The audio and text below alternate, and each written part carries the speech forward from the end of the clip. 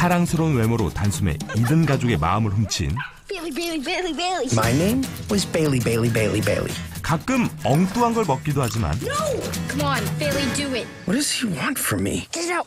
Get it out. 이든밖에 모르는 일편단심 껌딱지 이들은 언제나 함께였죠 Ready? I'm ready. Go, Bailey. 차곡차곡 추억이 쌓인 만큼 베일리도 이든도 훌쩍 자랐습니다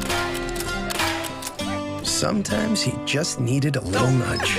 Sorry, that was the dog. That wasn't me. Maybe you should teach your dog some manners.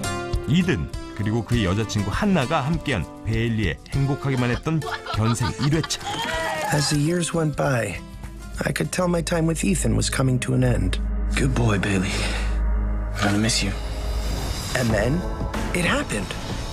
I was back. I didn't have a. I'm a girl? Good girl. Good girl.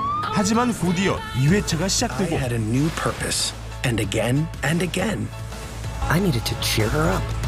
또 귀요미로의 3회차 Hi, you.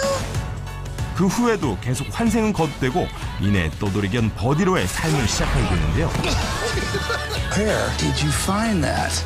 Okay, ready?